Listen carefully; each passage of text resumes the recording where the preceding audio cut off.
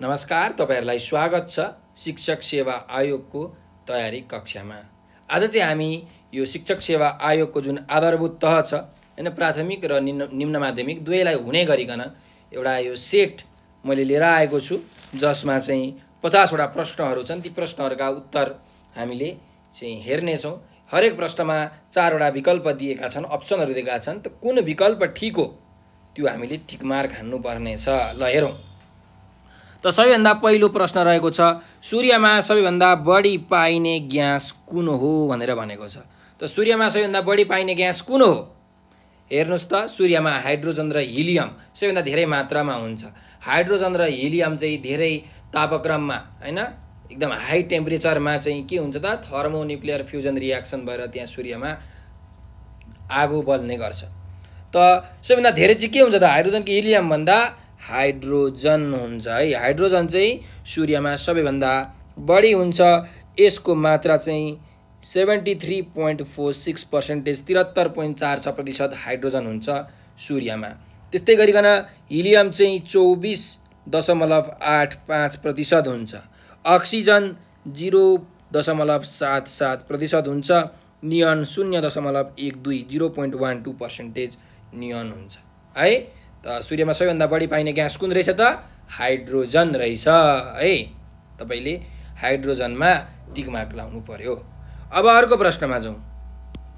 जोडा मिलाई कोडबाट सही उत्तर छान्नुहोस् भनेको छ। अब यहाँ जोडा मिलाउनु पर्ने छ हामीलाई हेर्नु है त। कुन चाहिँ यहाँ शब्दावलीहरूसँग पदावली पदावलीहरूसँग चाहिँ के मिल्छ त? ल हेर्नुहोस्। तातो महासागर एक इन्च खुम्चदै गएको महासागर चिसो महासागर र अग्लो छाल भएको महासागर। प्रशान्त महासागर आन्ध्र महासागर हिन्द महासागर कुमेरु महासागर। त अब हामीले पहिला यो जोडा मिलाउँ है? ल यहाँ हेरौँ है त। तातो महासागर कुन हो? तातो महासागर भनेको हिन्द महासागर हो। हिन्द महासागर भनेको चाहिँ तातो महासागर हो। तपाईँले जोडा मिलाउनुहोस्। यो हिन्द महासागर यहाँ एक नम्बरमा छ। यो तातो महासागर एक नम्बरमा छ र हिन्द महासागर तिन नम्बरमा छ त। यो ए को तिन भयो। ए को तिन। त्यस्तै दोस्रोमा हेरौँ एक इन्च खुम्चदै गएको महासागर। कुन महासागर हो यो? यो प्रशान्त महासागर हो। एक इन्च खुम्चदै गएको महासागर भनेको प्रशान्त महासागर पेसिफिक ओसियन हो। त्यही भएर यो बीको जुन एक इन्च खुम्चदै गएको महासागर भनेको के रहेछ त? वान नम्बरको प्रशान्त महासागर रहेछ। यसरी जोडा मिलाउनुहोस्। त्यस्तै सी नम्बरमा हेर्नुहोस् चिसो महासागर छ। त चिसो महासागर भनेको कुन महासागर हो? कुमेरु महासागर हो। चिसो महासागर भनेको चाहिँ कुमेरु महासागर हो। यो सी नम्बरको चिसो महासागर भनेको चार नम्बरको कुमेरु महासागरसँग हुन्छ। त्यस्तै डी नम्बरमा हेर्नुहोस् अग्लो छाल भएको महासागर छ त। अग्लो छाल भएको महासागर कुन महासागर हो? दुई नम्बरको आन्ध्र महासागर हो। अग्लो छाल भएको महासागर भनेको आन्ध्र महासागर हो। भनेको डी नम्बरको चाहिँ दुई नम्बर ठिक हुँदो रहेछ। अग्लो छाल भएको महासागर भनेको दुई नम्बरको आन्ध्र महासागर हुँदो रहेछ। फेरि एकचोटि ध्यान दिएर सुन्नुहोस्। तातो महासागर भनेको हिन्द महासागर हो। तातो महासागर भनेको हिन्द महासागर हो। एक इन्च खुम्चदै गएको महासागर भनेको प्रशान्त महासागर हो। चिसो महासागर भनेको कुमेरु महासागर हो। चिसो महासागर भनेको कुन हो? कुमेरु महासागर हो। र अग्लो छाल भएको महासागर भनेको आन्ध्र महासागर हो। त्यसैले यहाँ हेर्नुहोस् त कुन अप्सन ठिक छ त? क ख ग ग हामीलाई चारवटा अप्सन दिएको छ। ल हेर्नुहोस् यहाँ एबिसिडीमा ए भनेको कुन हो त? तिन नम्बर हो। त्यही भएर ए को तिन यहाँ छ। यहाँ पनि छ। अब यो ग र घ मध्ये कुनै एउटा अप्सन चाहिँ ठिक हो। एउटा विकल्प चाहिँ ठिक हो। अब कुन ठिक हो हेरौँ बीमा के छ? एक इन्च खुम्चदै गएको महासागर। कुन हो? एक नम्बरको प्रशान्त महासागर। त बीको कुन हुन्छ अरे? बीको एक हुन्छ यहाँ पनि एक छ यहाँ पनि एक छ यो एक भनेको प्रशान्त महासागर। सीमा छ चिसो महासागर। चिसो महासागर भनेको कुन महासागर हो? कुमेरु महासागर। त सीको कुमेरु भनेको कति हो त चार हो यहाँ छ यी। भनेपछि हेर्नुहोस् त घ नम्बरको अप्सन ठिक भइरहेको छ। र अन्तिममा अग्लो छाल भएको महासागर भनेको आन्ध्र महासागर हो। भनेको डीको कति हो? दुई नम्बर हो। त्यही भएर यो दुई यहाँ छ नि डीको दुई। डीको दुई नम्बर। त हाम्रो कुन विकल्प सही रहेछ त भनेर हामीले थाहा पाइसकेका छौँ। कुन विकल्प ठिक रहेछ? घ नम्बरको विकल्प ठिक रहेछ। त्यही भएर यसमा तपाईँले ठिक चिन्ह लगाउनु होला। है त? ल। अब अर्को प्रश्नमा जाउँ।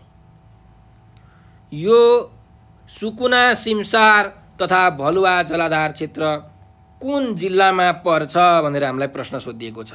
सुकुना सिमसार तथा भलुवा जलाधार क्षेत्र कुन जिल्लामा पर्छ? ल भन्नुहोस् त यो सुकुना सिमसार तथा भलुवा जलाधार क्षेत्र कुन जिल्लामा पर्छ? यो गुल्मी जिल्लामा पर्छ। कुन जिल्लामा पर्छ?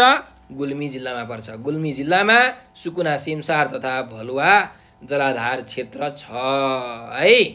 त यहाँ हामीलाई विकल्पहरू दिएको थियो। रूपन्देही क नम्बरको विकल्प रूपन्देही खमा गुल्मी गमा सिराहा घमा मोरङ। त कुन विकल्प ठिक हुने रहेछ? ख को गुल्मी गुल्मीमा चाहिँ सुकुना सिमसार तथा भलुवा जलाधार क्षेत्र छन्। अब चार नम्बरमा जाउँ। ललितपुरको दक्षिणमा रहेको चम्पागिरी चापागाउँ बस्ती बसाउने राजा को हुन्? जुन ललितपुरमा ललितपुरको दक्षिणतिर एउटा चापागाउँ भन्ने गाउँ छ चम्पागिरी गाउँ छ। हो त्यो चम्पागिरी गाउँको बस्ती बसाउने राजा को थिए त? को हुन्? हामीलाई भन्नुहोस् त ल। यहाँ तपाईँलाई विकल्प दिएको छ अप्सन दिएको छ क नम्बरमा।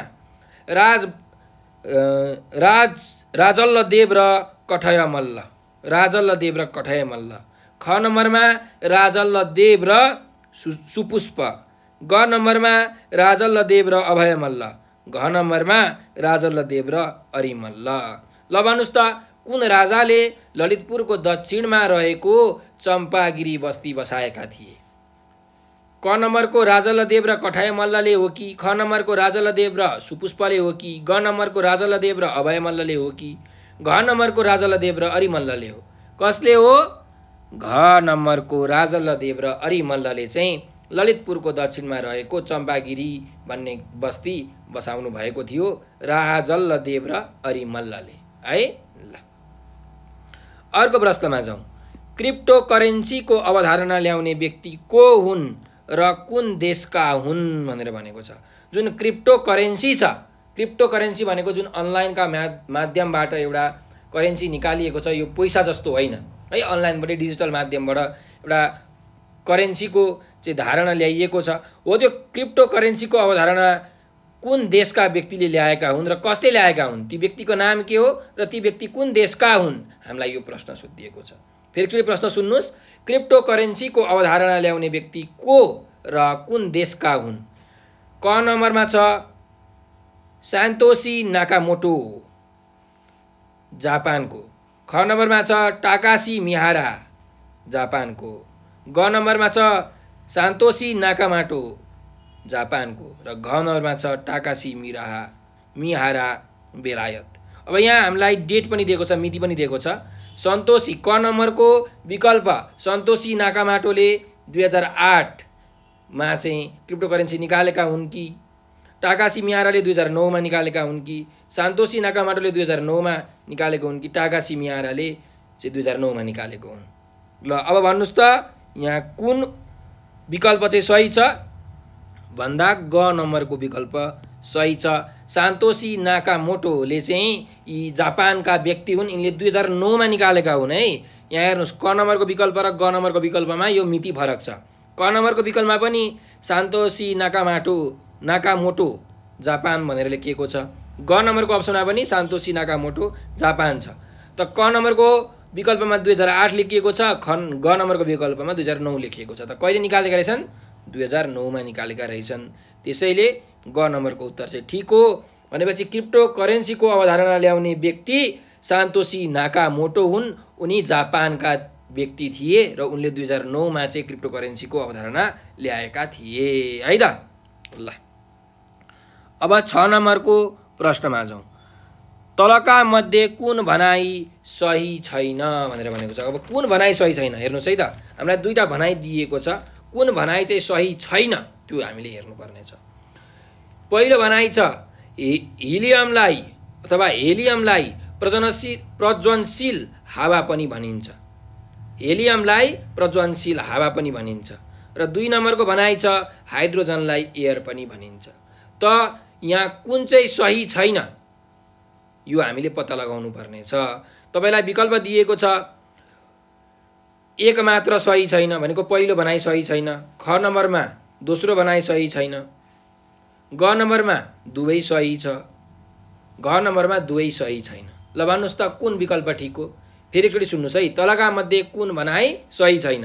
एक नम्बरको भनाइ छ हेलियमलाई प्रजनशील हावा पनि भनिन्छ। दुई नम्बरको भनाइ छ हाइड्रोजनलाई एयर पनि भनिन्छ। अब विकल्पहरू हेर्नुहोस्। कुन चाहिँ सही छैन त? क नम्बरको विकल्प छ पहिलो भनाइ सही छैन। ख नम्बरको विकल्प छ दोस्रो भनाइ सही छैन।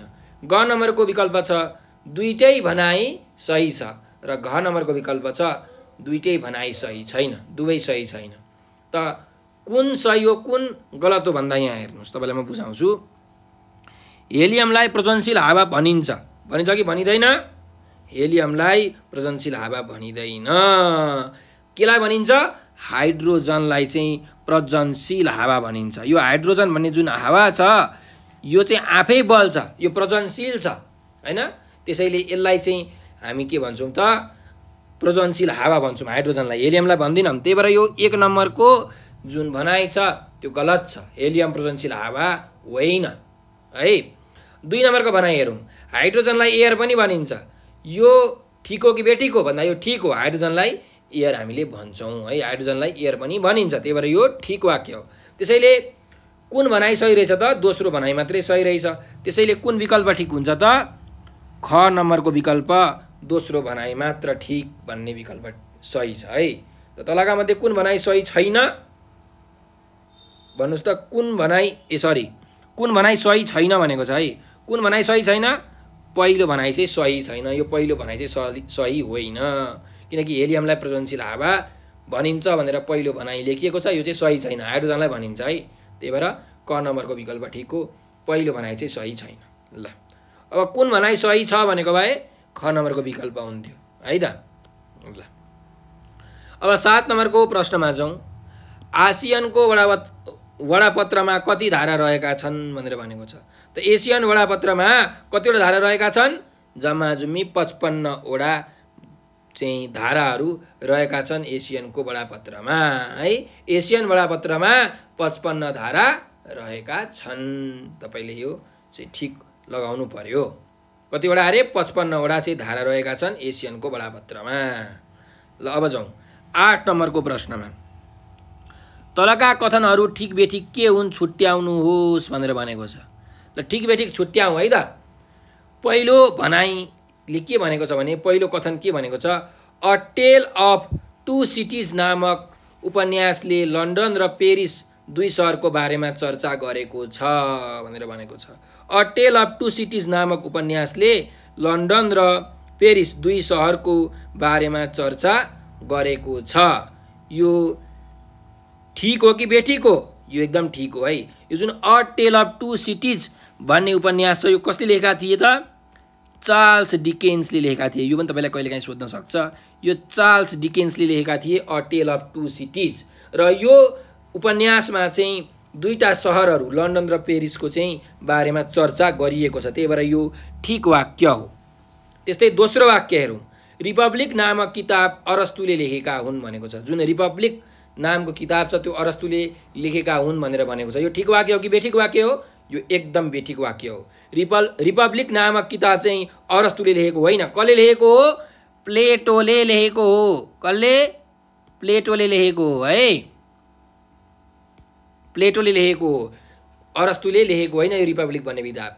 त्यही भएर यो दोस्रो कथन के छ त? बेठिक छ है? भनेपछि हामीले यहाँ दुईवटा कथनमध्ये कुन ठिक रहेछ? पहिलो कथन ठिक रहेछ दोस्रो कथन बेठिक रहेछ। अब यसको विकल्पहरूतिर जाउँ। क नम्बरको विकल्प के छ हेर्नुहोस् त? एक र दुई दुवै ठिक। ख नम्बरको विकल्प। एक र दुई बेठिक ग नम्बरको विकल्प। एक ठिक। घ नम्बरको विकल्प दुई ठिक। भनेपछि कुन विकल्प सही हो? ग नम्बरको विकल्प चाहिँ सही हो एक ठिक होइन? A Tale of Two Cities नामक उपन्यास चाहिँ उपन्यासले लन्डन र पेरिसको चाहिँ बारेमा चर्चा गरेको छ भने चाहिँ यो ठिक वाक्य हो। ग नम्बरको जुन विकल्प छ यो ठिक छ। है त? अर्को प्रश्नमा जाउँ। शास्त्रीय सम्बन्ध प्रत्यावर्तन सिकाइ अनुसार घन्टीको मिल्दो आवाजका लागि र्याल उत्पन्न गर्ने प्रक्रिया के हो भनेर भनेको छ। शास्त्रीय सम्बन्ध प्रत्यावर्तन सिकाइ अनुसार घन्टीको मिल्दो आवाजका लागि र्याल उत्पन्न गर्ने प्रक्रिया के हो भनेर हामीलाई यहाँ प्रश्न सोधिएको छ। यसका विकल्पहरू हामीलाई दिएको छ। क नम्बरको विकल्प प्राप्ति। ख नम्बरको विकल्प सिकाइ गमा उत्तेजना सामान्यकरण र घमा उत्तेजना विभेदीकरण। है? ल घ नम्बरमा माथिका कुनै पनि होइन भनेर छ है यहाँ। घ नम्बरमा माथिका कुनै पनि होइन भनेको छ। ल भन्नुहोस् त। शास्त्रीय सम्बन्ध प्रत्यावर्तन सिकाइ अनुसार घन्टीको मिल्दो आवाजका लागि र्याल उत्पन्न गर्ने प्रक्रिया के हो? भन्दा उत्तेजना सामान्यकरण भन्ने प्रक्रिया हो। ग नम्बरको विकल्प चाहिँ यहाँ सही छ। है? ल। अब अर्को प्रश्नमा जाउँ दस नम्बरमा। मनोविज्ञान व्यवहार र अनुभवको विज्ञान हो। यो भनाइ कसको हो? मनोविज्ञान व्यवहार र अनुभवको विज्ञान हो। यो भनाइ कसको हो? होइन? भनेर हामीलाई यो प्रश्न सोधिएको छ। त यहाँ विकल्प छ। क नम्बरमा स्किनर खमा डिमोक्रिट्स घमा जिवी जेवी वाटसन र घमा कान्ट। फेरि सुन्नुहोस् एकचोटि प्रश्न मनोविज्ञान व्यवहार र अनुभवको विज्ञान हो यो भनाइ कसको हो? क नम्बरमा स्किनर खमा डिमोक्रिट्स गमा जेबी वाटसन घमा कान्ट। त यो भनाइ कसको हो? यो भनाइ क स्किनरको हो है क विकल्प हुन्छ। स्किनरले चाहिँ के भन्नुभएको थियो भने मनोविज्ञान भनेको व्यवहार र अनुभवको विज्ञान हो भनेर भन्नुभएको थियो स्किनरले। कसले? स्किनरले। है? त यो क उत्तर ठिक छ। अर्को जाउँ। एघार नम्बरको प्रश्न छ शिक्षाको सङ्कुचित अर्थभित्र कुन पर्दछ भनेर भनेको छ। शिक्षाको सङ्कुचित अर्थभित्र कुन पर्दछ औपचारिक क नम्बरको विकल्प छ अनौपचारिक शिक्षा। खमा जीवन पर्यन्त शिक्षा गमा जीवन उपयोगी शिक्षा र घमा औपचारिक शिक्षा। ल भन्नुहोस् त शिक्षाको सङ्कुचित अर्थभित्र कुन पर्दछ फेरि सुन्नुहोस् कमा अनौपचारिक शिक्षा खमा जीवन पर्यन्त शिक्षा गमा जीवन उपयोगी शिक्षा घमा औपचारिक शिक्षा। त कुन शिक्षा पर्दछ सङ्कुचित अर्थभित्र? औपचारिक शिक्षा पर्दछ। शिक्षाको सङ्कुचित अर्थभित्र औपचारिक शिक्षा पर्दछ। त सङ्कुचित अर्थले के भन्छ भने कुनै पनि विद्यालयमा गएर विद्यालयमा तय गरेको पाठ्यक्रम अनुसार पढ्नुलाई हामी के भन्छौँ त सङ्कुचित अर्थ भन्छौँ। भनेको यो भनेको औपचारिक शिक्षा हो। त्यसैले शिक्षाको सङ्कुचित अर्थभित्र औपचारिक शिक्षा पर्दछ। घ नम्बरको विकल्प ठिक छ। है त? ल। अर्को प्रश्नमा जाउँ। पहिलेका अनुभव र वा घटनाहरू सम्झनुलाई के भनिन्छ भनेको छ। पहिलेका अनुभव वा घटनाहरू सम्झनुलाई के भनिन्छ? यसको विकल्प छ कमा प्रत्याह्वान खमा स्मृति गमा विस्मृति घमा प्रतिभिज्ञा है फेरि सुन्नुहोस्। पहिलेका अनुभव वा घटनाहरू सम्झनुलाई के भनिन्छ? कमा प्रत्याह्वान खमा स्मृति गमा विस्मृति घमा प्रतिभिज्ञा त के भनिन्छ? प्रत्याह्वान भनिन्छ। के भनिन्छ? क को विकल्प सही हो? प्रत्याह्वान पहिलेका अनुभव वा घटनाहरू सम्झनुलाई प्रत्याह्वान भनिन्छ। है स्मृति भनेको चाहिँ के भने कुनै पनि साहित्यको कुरा सम्झने हो। अनुभवको कुरा सम्झने होइन। साहित्यको कुरा सम्झनेलाई स्मृति भनिन्छ। विस्मृति भनेको चाहिँ बिर्सने काम हो। होइन? अब यो सम्झनीसँग त सम्बन्ध नै भएन। यसको यो विस्मृति भनेको बिर्सिने हो। र प्रतिभिज्ञा भनेको चाहिँ के भन्दाखेरि कुनै पनि कुराको सहज अनुभूति सजिलोसँग तपाईँले अनुभव गर्न सक्नुहुन्छ भने त्यसलाई प्रतिभिज्ञा भनेर भनिन्छ। त पहिलेका अनुभव वा घटनाहरू सम्झनुलाई के भनिँदो रहेछ त?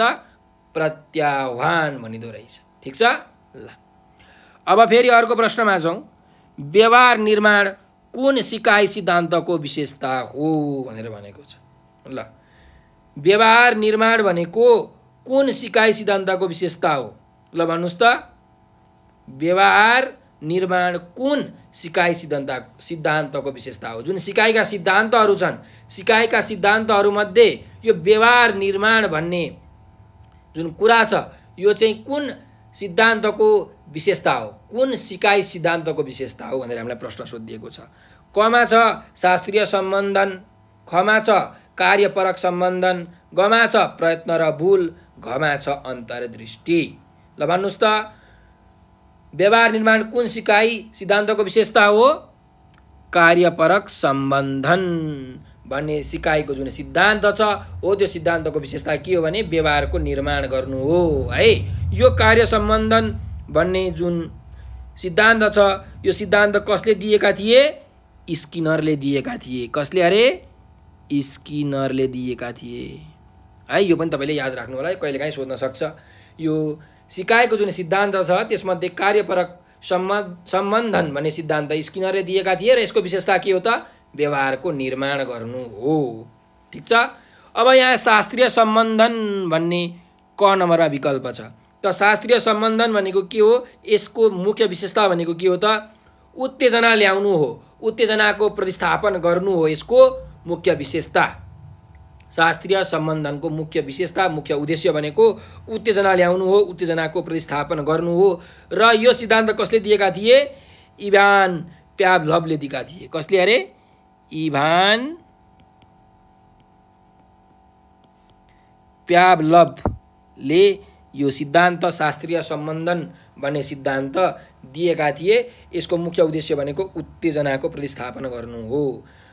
प्रयत्न र भुल भन्ने जुन सिद्धान्त छ त्यो भनेको के हो त? कुनै पनि काम गर्दाखेरि सुरुमा प्रयत्न गर्ने प्रयत्न गरिसकेपछि हामी फेल हुन्छौँ हो कि होइन? हार खान्छौँ अनि त्योबाट आफ्नो भुल थाहा हुन्छ यसरी नयाँ कुराहरू सिकिन्छ भन्ने यो सिद्धान्त हो प्रयत्न र भुल भन्ने सिद्धान्त।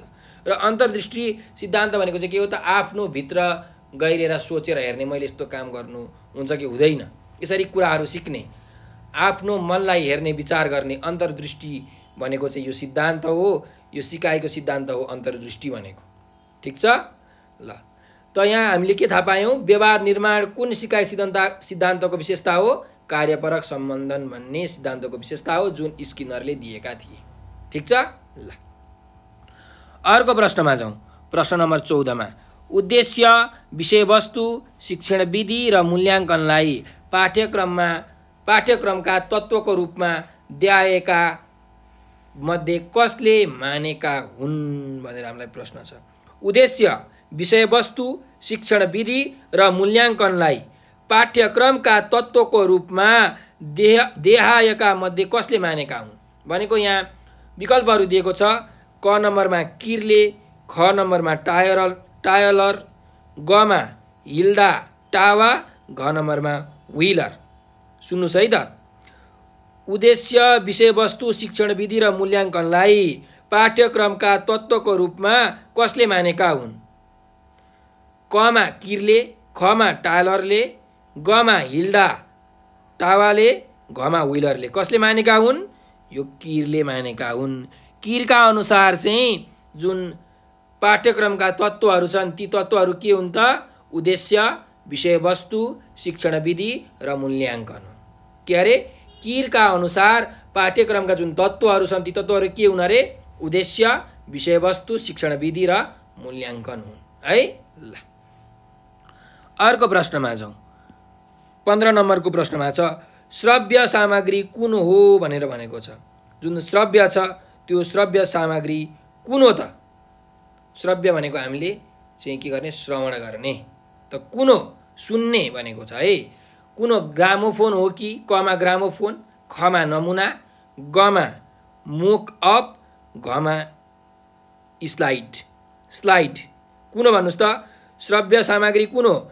ग्रामोफोन हो कि नमुना हो कि मोकअप हो कि स्लाइड हो? कुन हो? भन्दा ग्रामोफोन हो। ग्रामोफोनबाट हामीले सुन्ने काम गर्छौँ श्रव्य गर्ने काम गर्छौँ। त्यही भएर यो ग्रामोफोन भनेको चाहिँ श्रव्य सामग्री हो।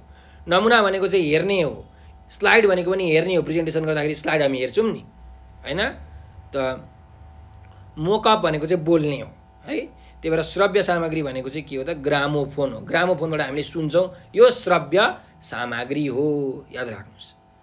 अर्को प्रश्नमा जाउँ। कक्षा कोठा व्यवस्थापनमा कुन कुरा पर्दैन? कक्षा कोठाको जुन व्यवस्थापन छ त्यसमा कुन कुरा पर्दैन त? कमा छ।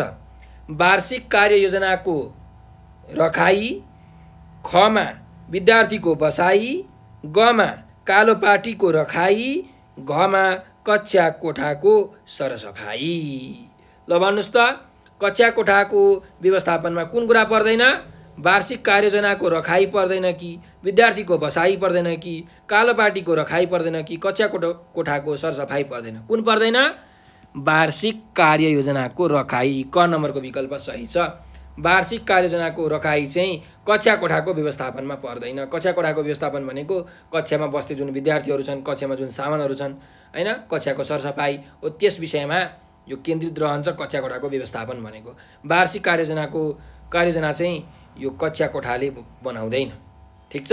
त्यही भएर यो कक्षा कोठा व्यवस्थापनमा कुन कुरा पर्दैन? वार्षिक कार्ययोजनाको रखाइ चाहिँ पर्दैन। है? ल। अर्को प्रश्नमा जाउँ सत्र नम्बरको प्रश्न। कुन शैक्षिक सत्रदेखि कक्षा बाह्र अक्षराङ्कन पद्धति लागू गरिएको हो? कुन शैक्षिक सत्रदेखि कक्षा बाह्रमा अक्षराङ्कन पद्धति लागू गरिएको हो भनेको छ त? कुन शैक्षिक सत्रदेखि क नम्बरमा छ? शैक्षिक सत्र दुई हजार छिहत्तर। खमा छ? शैक्षिक सत्र दुई हजार पचहत्तर। गमा छ शैक्षिक सत्र दुई हजार सतहत्तर घमा छ शैक्षिक सत्र दुई हजार चौहत्तर त भन्नुहोस् त कुन शैक्षिक सत्रदेखि कक्षा बाह्रमा अक्षराङ्कन पद्धति लागू गरिएको हो? कुन शैक्षिक सत्रदेखि? त शैक्षिक सत्र घ नम्बरको दुई हजार चौहत्तरदेखि है। शैक्षिक सत्र दुई हजार चौहत्तरदेखि चाहिँ कक्षा बाह्रमा अक्षराङ्कन पद्धति लागू गरिएको हो। भनेको अक्षरबाट चाहिँ अङ्क गरिने अङ्कित गरिने एबिसिडी भन्छ नि। A plus B plus C plus D plus हो यो। पर्सेन्टेज होइन। बिस के अरे चालिस प्रतिशत पचास प्रतिशत साठी प्रतिशत सत्तरी प्रतिशत। प्रतिशतको माध्यमबाट होइन चाहिँ अक्षरको माध्यमबाट कुनै पनि विद्यार्थीहरूको मूल्याङ्कन गर्ने पद्धति चाहिँ दुई हजार चौहत्तरको शैक्षिक सत्रबाट लागू भएको। है? याद राख्नुहोस्। अर्को प्रश्नमा जाउँ। अठार नम्बरको। सहकर्मीहरूबिच अनुभव पृष्ठपोषणको आदान प्रदान गर्ने कार्य शिक्षक सक्षमताको कुन मापदण्ड अन्तर्गत पर्दछ भनेर भनेको छ। है? सहकर्मी बिच सहकर्मीहरूबिच अनुभव पृष्ठपोषणको आदान प्रदान गर्ने कार्य शिक्षक सक्षमताको कुन मापदण्ड अन्तर्गत पर्दछ? ल शिक्षकको जुन सक्षमता छ त्यसको मापदण्ड छ है? शिक्षक सक्षमताको मापदण्डमा चाहिँ यो सहकर्मीहरू बिचको अनुभव र पृष्ठ पोषण पोषणको चाहिँ आदान प्रदान गर्ने काम छ। यो चाहिँ कुन मापदण्ड अन्तर्गत पर्दछ भनेर हामीलाई सोधेको छ। कमा हेर्नुहोस् निरन्तर सिकाइ र पेसागत विषयको मापदण्डमा कि? खमा सिकाइ वातावरण तथा कक्षा व्यवस्थापन मापदण्डमा कि? गमा विषयवस्तुको ज्ञान र घमा सञ्चार तथा सहकार्य। त कुन मापदण्ड अन्तर्गत चाहिँ शिक्षक सक्षमताको चाहिँ जुन यो कार्यहरू छन्। सहकारी सहकर्मीहरू बिचको अनुभव पृष्ठपोषणको आदान प्रदान गर्ने कार्य छ। शिक्षक सक्षमताको कुन मापदण्ड अन्तर्गत पर्दछ? भन्नुहोस् त। कुन मापदण्ड अन्तर्गत?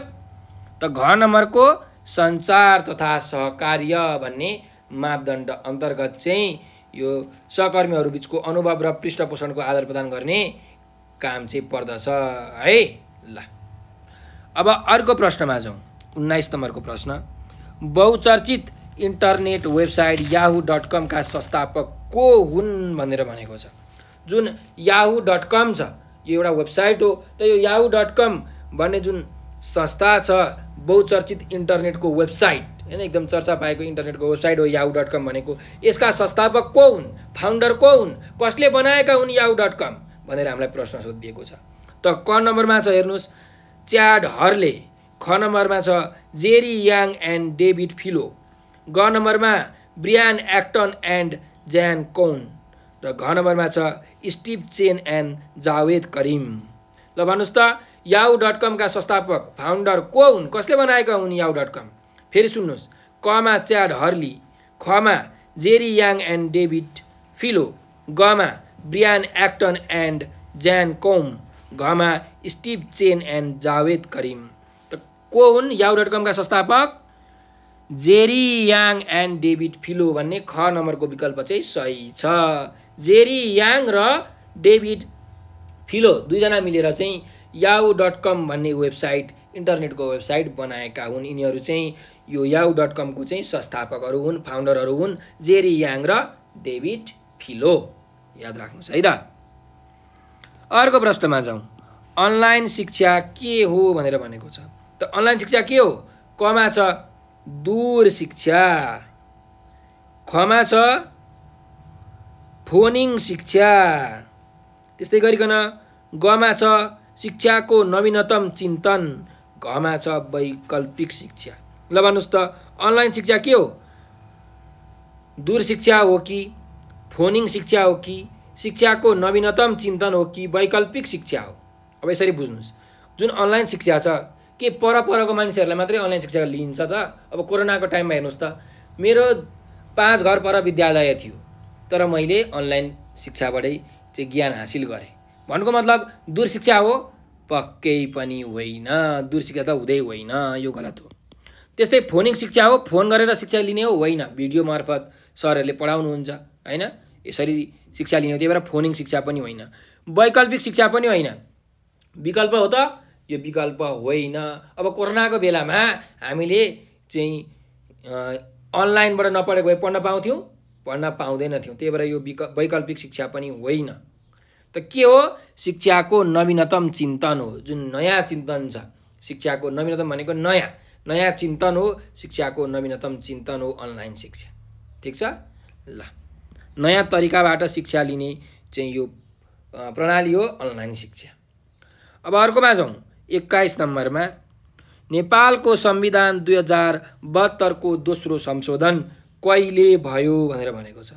नेपालको संविधान दुई हजार बहत्तरको दोस्रो संशोधन कहिले भयो? जुन दुई हजार बहत्तरको नेपालको संविधान थियो त्यसको दोस्रो संशोधन कहिले भएको थियो? कमा छ। दुई हजार सतहत्तर साल पाँच महिना चार गते।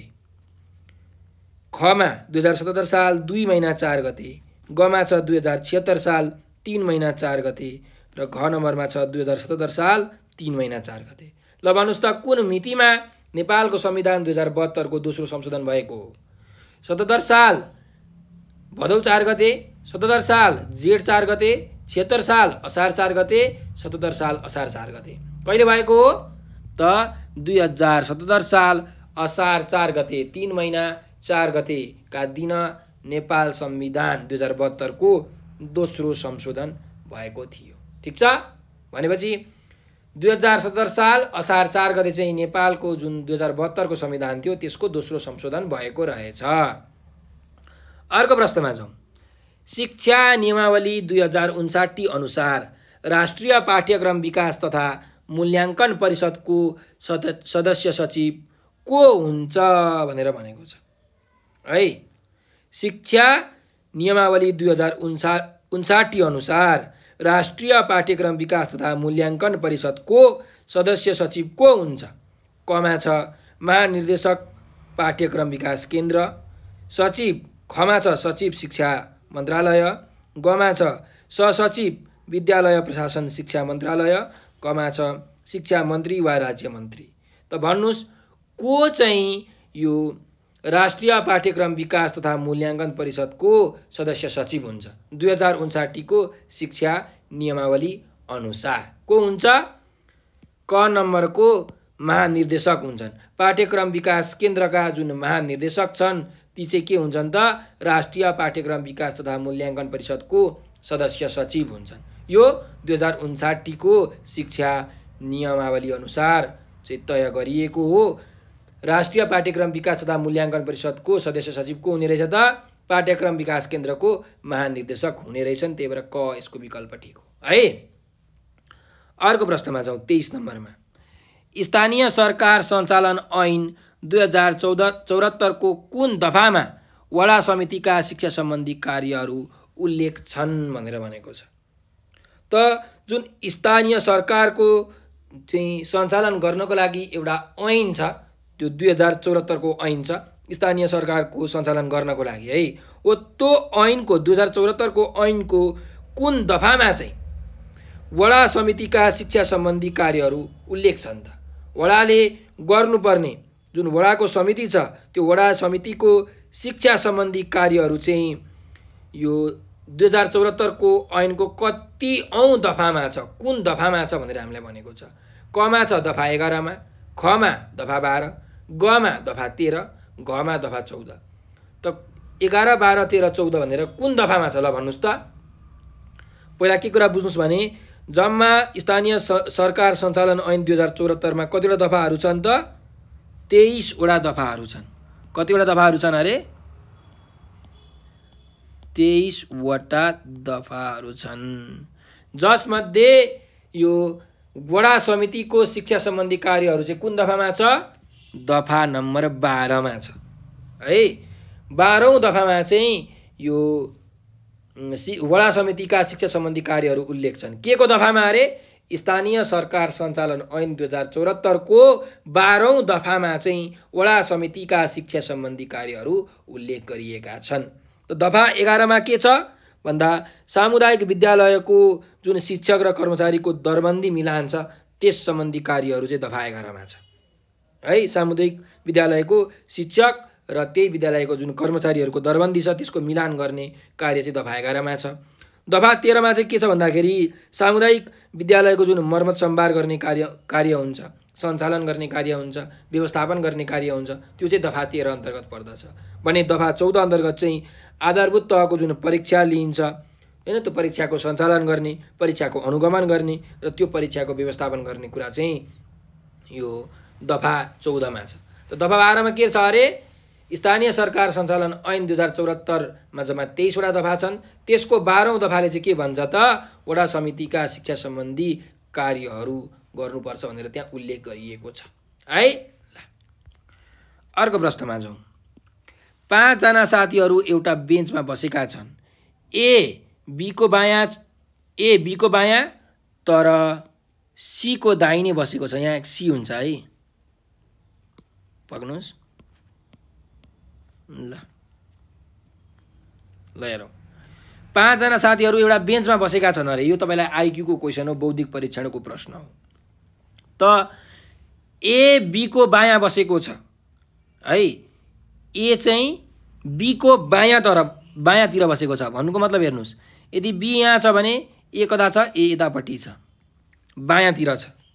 है त्यस्तै गरिकन तर सीको दाहिने बसेको छ। ए चाहिँ सीको दाहिनेतिर छ अरे। भनेको सी यहाँ छ भने सीको दाहिनेपट्टि चाहिँ यहाँ ए छ। ठिक छ? त्यस्तै गरिकन।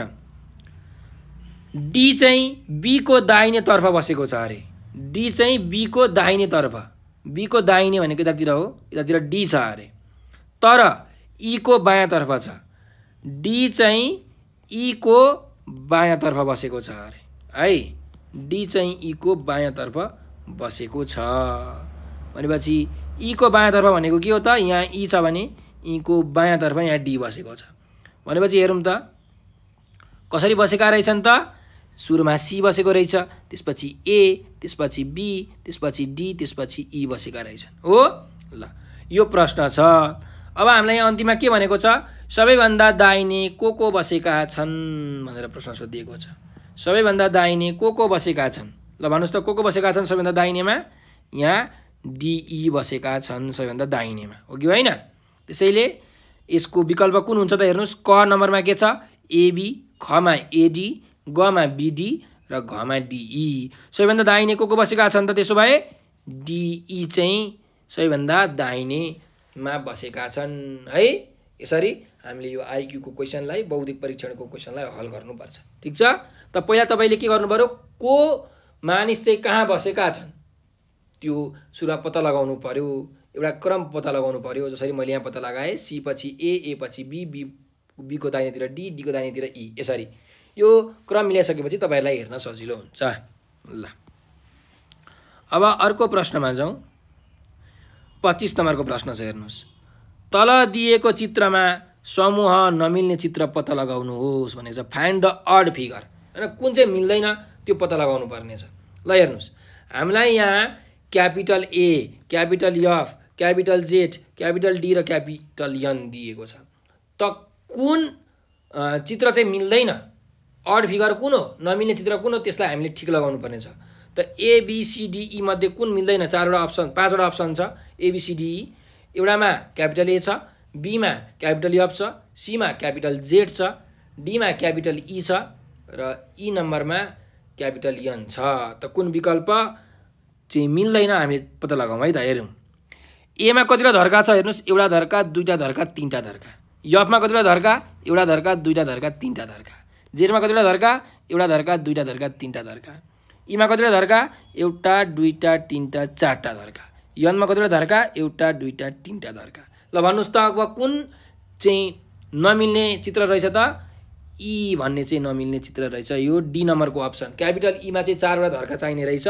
यसमा चारवटा धर्का चाहिन्छ। त्यही भएर यो चाहिँ नमिल्ने अड फिगर हो। अरू सबैमा तिन तिनवटा मात्रै धर्का चाहिन्छ। ठिक छ? यसरी।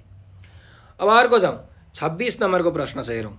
दिएका विकल्पहरूबाट चित्रमा छुटेका चित्र छनौट गर्नुहोस् भनेर भनेको छ। अब यहाँ तपाईँले चित्रमा हेर्नुहोस् कुन चित्र चाहिँ यो छुटेको छ। त्यो हामीले निकाल्नु पर्ने छ यहाँ वाट भनेर लेखिएको छ। यहाँ कुन चित्र हुन्छ अब लेख्नु पऱ्यो अब हेरौँ है यहाँ। हेर्नुहोस्। यहाँ यस्तो छ। यो माथिपट्टि यसरी गएको छ। अर्को यस्तो छ। अब यो दुइटालाई जोडो भने कस्तो भन्छ हेर्नुहोस् त।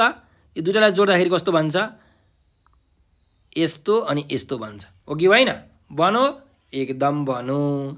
त पहिलो यो फर्स्ट र सेकेन्ड यो दुईवटा फिगरलाई जोडेर फर्स्ट प्लस सेकेन्ड गरेर थर्ड फिगर बनाएको रहेछ यहाँ। अर्कोमा पनि हेरौँ। यहाँ दुईवटा छ। यहाँ यसरी दुईवटा छ। त यसलाई जोड्दा कस कस्तो हुन्छ? हेर्नुहोस्। एउटा यतातिर छ एउटा यतातिर छ। हो? अब यहाँ तपाईँले सोच्नु होला यहाँ पनि तल एउटा छ यहाँ पनि तल एउटा छ यहाँ तल एउटा यसरी आउँछ भनेर। तर यहाँ जुन कमनहरू छ भनेको एउटै रेखाहरू चाहिँ लेखिएको छैन। जुन साझा रेखाहरू छ त्यो लेखिएको छैन। त्यही भएर यो साझा रेखा नलेख्ने। भनेपछि यसमा के रहेछ त? फर्स्ट प्लस सेकेन्ड भनेको थर्ड हो र अर्को के हो? साझा रेखा रेखा नलेख्ने। है? ल। यो पहिलो रोमा हेर्नुभयो भने पहिलो पङ्क्तिमा हेर्नुभयो भने चाहिँ यहाँ साझा रेखाहरू छैनन् नै। है? अब दोस्रोमा चाहिँ साझा रेखा छ त्यही भएर त्यसलाई नलेख्ने। अब तेस्रोमा हेरौँ। एउटा माथिपट्टि छ एउटा दाहिनेपट्टि छ। त्यसै दुईवटालाई जोड्दा के हुन्छ? एउटा माथिपट्टि अर्को दाहिनेपट्टि हुन्छ। भनेपछि कुन विकल्प ठिक हुन्छ हेर्नुहोस् त। एक दुई तिन चार मध्ये विकल्प नम्बर एक चाहिँ सही विकल्प रहेछ। हो? यसरी हामीले यो आइक्यूको क्वेसनलाई हल गर्नुपर्छ। तपाईँले कुरा बुझ्नुभयो होला है त? अब म अर्को प्रश्नतिर जान्छु सत्ताइस नम्बरको प्रश्नमा हेरौँ। दसजना मानिसले कुनै काम सात दिनमा सक्छन् भने चौधजनाले कति दिनमा सक्छन् भनेको छ। ल हेरौँ। दसजनाले सात दिनमा सक्छन् हो? दसजनाले हेरौँ है त। दसजनाले सात दिनमा एउटा काम सक्छन् कुनै काम। त एकजनाले कति दिनमा सक्छ? दसजनालाई काम गर्न सात दिन लाग्दो रहेछ। त एकजनालाई पक्कै पनि धेरै दिन लाग्छ। दसजनाले सँगै काम गर्दा सात दिनमा सक्यो। त त्यो काम एक्लैले एकजनाले गर्नु पऱ्यो भने कति दिन लाग्थ्यो? धेरै अझै धेरै दिन लाग्थ्यो। तर धेरै लाग्छ भने के गर्ने? गुना गर्ने।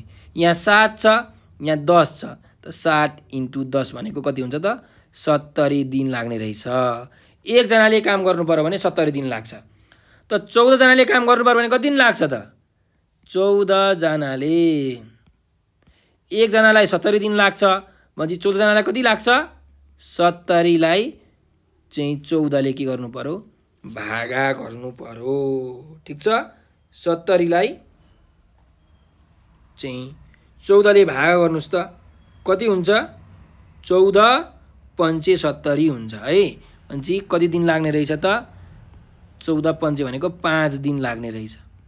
त दसजना मानिसले कुनै काम सात दिनमा सक्छन् भने चौधजना मानिसले कति दिनमा सक्छन्?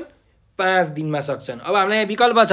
क नम्बरमा दुई दिन खमा तिन दिन गमा चाहिँ चार दिन घमा पाँच दिन। त कति दिन लाग्ने रहेछ? पाँच दिन लाग्ने रहेछ। यो विकल्प चाहिँ एकदम सही छ। ठिक छ? ल। अर्को प्रश्नमा जाउँ। अट्ठाइस नम्बरको प्रश्न छ हेर्नुहोस्। तल दिएका मध्ये समूहमा नमिल्ने कुन हो पत्ता लगाउनुहोस् भनेको छ। कुन चाहिँ मिल्दैन? कमा छ थाइल्यान्ड खमा छ इन्डोनेसिया गमा छ मलेसिया घमा छ मालदिप्स। त कुन मिल्दैन भन्नुहोस् त? थाइल्यान्ड मिल्दैन कि इन्डोनेसिया मिल्दैन कि मलेसिया मिल्दैन कि मालदिप्स मिल्दैन? कुन मिल्दैन? मालदिप्स चाहिँ मिल्दैन। अब भन्नुहोस् किन मिल्दैन? किनभने मालदिप्स भनेको सार्क कन्ट्री हो। के हो? सार्क राष्ट्रमा पर्दछ मालदिप्स होइन? नेपाल भुटान पाकिस्तान इन्डिया बङ्गलादेश अफगानिस्तान र यो मालदिप्स श्रीलङ्का चाहिँ के पर्छन् त? सार्क राष्ट्रहरूमा पर्छन्। अब यो मलेसिया इन्डोनेसिया र थाइल्यान्ड त सार्क राष्ट्रमा पर्दैनन्। त्यसैले यहाँ नमिल्ने कुन हो त मालदिप्स हो है? अरू तिनवटा पर्दैनन्। मालदिप्स चाहिँ सार्क राष्ट्रमा पर्छ। त्यही भएर यो नमिल्ने देश हो। तपाईँले मालदिप्समा टिक चिन्ह लगाउनु पर्यो। अर्को प्रश्नमा जाउँ। शिक्षक पदको खुल्ला प्रतियोगितात्मक परीक्षामा अन्तर्वार्ताका लागि छुट्याइएको अङ्कमध्ये कति अङ्क अन्तर्वार्ताका लागि छुट्याइएको छ भनेर हामीलाई यहाँ प्रश्न सोधिएको छ। ल हेरौँ। जुन शिक्षक सेवा आयोगको शिक्षक पदको लागि प्रतियोगिता हुन्छ त्यो प्रतियोगितामा चाहिँ त्यो परीक्षा हुन्छ होइन? त्यो परीक्षामा अन्तर्वार्ताका लागि जुन छुट्याइएको अङ्क छ कति अङ्क चाहिँ अन्तर्वा अन्तर्वार्ताको लागि छुट्याइएको हो त? त्यो जुन पूर्णाङ्क छ होइन सय पूर्णाङ्कमा कति पूर्णाङ्क चाहिँ अन्तर्वार्ताको लागि छुट्याइएको हो भनेर हामीलाई सोधेको हो है? ल भन्नुहोस् त। जुन शिक्षक पदको खुल्ला प्रतियोगितात्मक परीक्षा छ त्यसमा कति अङ्क चाहिँ अन्तर्वार्ताको लागि इन्टरभ्यूको लागि छुट्याइएको हो? एक नम्बरमा छ दस अङ्क खमा छ कमा छ दस अङ्क खमा छ बाह्र अङ्क गमा छ पच्चिस अङ्क र घमा छ पन्ध्र अङ्क। फेरि सुन्नुहोस् दस अङ्क बाह्र अङ्क पच्चिस अङ्क पन्ध्र अङ्क। त कति अङ्क अन्तर्वार्ताका लागि छुट्याइएको हो? त पन्ध्र अङ्क चाहिँ अन्तर्वार्ताका लागि छुट्याइएको हो। तपाईँले पन्ध्रमा ठिक चिन्ह लगाउनु पर्यो। ठिक छ? ल। अब अर्को प्रश्नमा जाउँ। तिस नम्बरको प्रश्न राष्ट्रिय शिक्षा सेवा शिक्षक सेवा आयोगलाई प्रावधान शिक्षा ऐनको कुन संशोधनले शिक्षा शिक्षक सेवा आयोगको रूपमा नामाकरण गरेको हो भनेर भनेको छ। जुन राष्ट्रिय शिक्षा शिक्षक सेवा आयोग थियो सुरुमा चाहिँ के थियो? राष्ट्रिय शिक्षक सेवा आयोग थियो। यो राष्ट्रिय शिक्षक सेवा आयोगलाई चाहिँ पछि संशोधन गरिएर शिक्षक सेवा आयोग नामाकरण गरिएको थियो। त कुन संशोधनले चाहिँ यो राष्ट्रिय शिक्षक सेवा आयोगलाई शिक्षक सेवा आयोगको रूपमा नामाकरण गरियो त। कुन संशोधनले? कमा छ सातौँ संशोधन खमा छ आठौँ संशोधन गमा छ पाँचौँ संशोधन घमा छ छैटौँ संशोधन। कुन संशोधनले? सातौँ संशोधनले है? त प्रावधानको जुन सातौँ संशोधन छ सातौँ संशोधनले चाहिँ राष्ट्रिय शिक्षक सेवा आयोगलाई चाहिँ शिक्षक सेवा आयोगको रूपमा नामाकरण गरेको थियो। ठिक छ? ल। अर्को प्रश्नमा जाउँ। विद्यालय शिक्षामा सूचना तथा सञ्चार प्रविधिको प्रयोगबारे हुने फाइदामा कुन पर्दैन भनेर भनेको छ। त विद्यालय शिक्षामा सूचना तथा सञ्चार प्रविधिको प्रयोगबाट हुने फाइदामा कुन पर्दैन? कमा छ डिजिटल डिभाइड वृद्धि गर्दछ। खमा रोजगारीका अवसर सिर्जना गर्दछ। गमा व्यवस्थापनमा सुधार आउँछ। घमा सिकाइको गुणस्तरमा सुधार आउँछ। ल भन्नुहोस् त कुन फाइदा चाहिँ पर्दैन? विद्यालय शिक्षामा सूचना तथा सञ्चार प्रविधिको प्रयोगबाट हुने फाइदामा कुन चाहिँ पर्दैन? जुन विद्यालयमा चाहिँ तपाईँहरूलाई यो प्राविधिक सञ्चारको प्रयोग गरेर प्रविधिको प्रयोग गरेर चाहिँ क यो शिक्षकले पढाउनुहुन्छ होइन? शिक्षण गर्नुहुन्छ। त्यसको फाइदामा कुन पर्दैन त? डिजिटल डिभाइड वृद्धि गर्छ भनेर भनेको छ। गर्छ कि गर्दैन डिजिटल डिभाइड? डिजिटल डिभाइड यसले गर्छ त गर्दैन। त्यही भएर यो फाइदा होइन। ठिक छ? विद्यालयको शिक्षामा सूचना तथा सञ्चार प्रविधिको प्रयोगबाट डिजिटल डिभाइड वृद्धि चाहिँ गर्दैन है? त्यही भएर यो पहिलो अप्सनलाई हामीले ठिक चिन्ह लगाउनु पऱ्यो यसले रोजगारीको अवसर पनि सिर्जना गर्छ व्यवस्थापनमा सुधार पनि ल्याउँछ सिकाइको गुणस्तरमा पनि सुधार ल्याउँछ। विद्यार्थीहरूले मजाले शिक्षण पनि व्यवस्थापन पनि एकदम राम्रो हुन्छ। रोजगारी पनि सिर्जना गर्छ नयाँ नयाँ प्रविधि आएपछि नयाँ नयाँ मानिसहरू पनि आउँछ। हो कि होइन काम गर्नको लागि? त यसले डि डिजिटल डिभाइड चाहिँ डिभाइड गर्दैन है। यहाँ डिजिटल डिभाइड वृद्धि गर्छ भनेको छ यो यसको फाइदामा पर्दैन। है त? ल। अब अर्को प्रश्नमा जाउँ बत्तिस नम्बरमा। विद्यालय तहमा तथ्याङ्क व्यवस्थापनका लागि प्रयोगमा ल्याइएको आइइएमआइएस सफ्टवेयरको परीक्षण कुन शैक्षिक सत्रदेखि गरिएको हो भनेर भनेको छ। जुन विद्यालयमा छ नि होइन विद्यालयको तहमा जुन तथ्याङ्कहरू मार्क्सहरू व्यवस्थापनको लागि चाहिँ एउटा यो आइइएमआइएस भन्ने सफ्टवेयर ल्याइएको छ। है यसको फुल फर्म चाहिँ integrated education integrated educational management information system हो। Integrated educational management information system तपाईँलाई कहिलेकाहीँ यसको फुल फर्म पनि सोध्न सक्छ। है?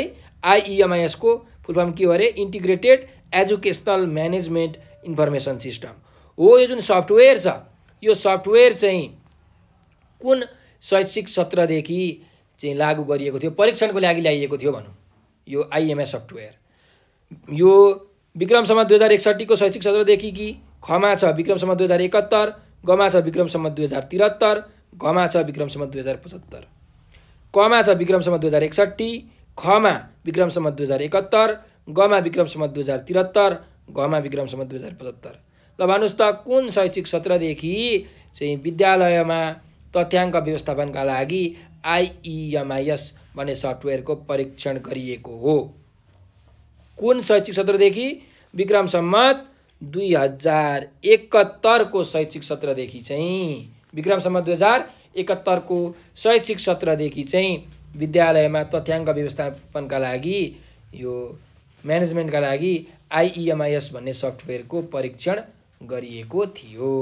है दुई हजार एकहत्तरको शैक्षिक सत्रदेखि है त? ल। अब अर्को प्रश्नमा जाउँ। जिकेबाट प्रश्न छ हेर्नुहोस्। इन्टरनेटमा सबैभन्दा लोकप्रिय रङ कुन हो? सबैभन्दा लोकप्रिय रङ होइन कलर कुन हो? कमा छ रातो खमा छ हरियो गमा छ सेतो घमा छ निलो। ल भन्नुहोस् कुन रङ चाहिँ इन्टरनेटमा सबैभन्दा बढी लोकप्रिय छ? कुन रङ? निलो रङ चाहिँ इन्टरनेटमा सबैभन्दा लोकप्रिय रङ छ। है निलो रङ। तपाईँले यसको घर नम्बरको विकल्प निलोमा ठिक चिन्ह लगाउनु पर्यो। अर्को प्रश्नमा जाउँ चौतिस नम्बरको प्रश्न।